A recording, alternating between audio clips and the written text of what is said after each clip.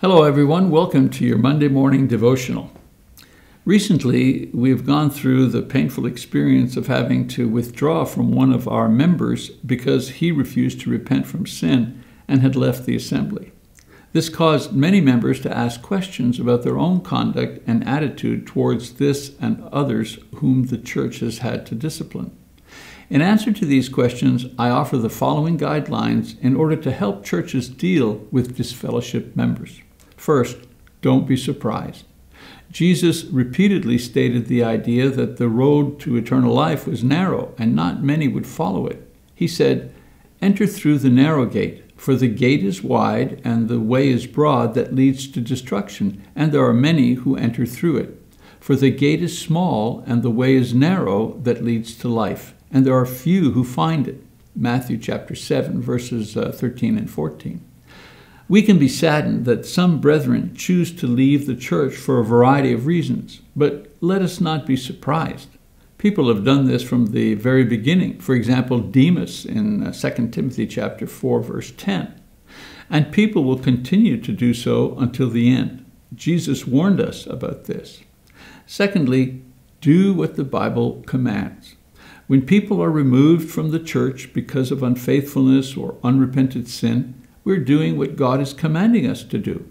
The Apostle Paul says, remove the wicked man from among yourselves. 1 corinthians chapter 5 verse 13 not to do so would make us as disobedient as those who are being disfellowshipped.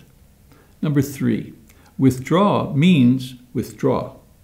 The bible also tells us not to associate with any so-called brother if he should be an immoral person not even to eat with such a one 1 corinthians chapter 5 verse 11 and if anyone does not obey our instructions in this letter, take special note of that man and do not associate with him, so that he may be put to shame. And yet, do not regard him as an enemy, but admonish him as a brother.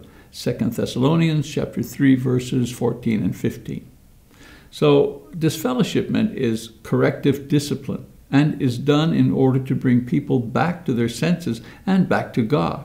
If we do not obey God in this, we push these people further away from Him and ourselves. Number four, be careful.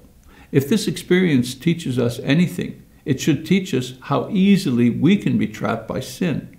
Let us, therefore, be careful to avoid occasions of temptations and ready to acknowledge and abandon the sins we often stumble into, so that it doesn't master us and thus separate us from God and the church. And finally, pray for one another. Jesus continually prayed to God on behalf of the apostles so that they would not be overtaken by Satan. We need to pray for others when they are faithful rather than start praying for them only after they have fallen. I know that it's not easy to see someone that you love suddenly abandon the church. It causes pain, discouragement, and confusion. But I believe that these feelings are part of the cost of our discipleship to our Lord Jesus Christ. I encourage you, therefore, to obey the Bible in this matter. Love and pray for the brother or sister who has left. Be careful in your own life and continue to trust in our Lord to bring the rest of us safely home. One thing is sure, however, no one is more eager to save your family or friends than God is, and no one has suffered more rejection than he has. And yet, because of his great love and patience, God continues to offer his forgiveness and salvation to all who would come. That's our message for this week. I'm Mike Mazzalongo for BibleTalk.tv. I pray that God bless you and keep you and yours. Discussion questions. Number one, what type of sin would qualify a person for disfellowshipment? What type would not?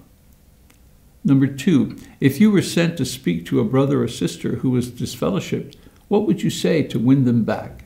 Why this approach? Number three, can someone be disfellowshipped for not attending worship services? Why yes or no?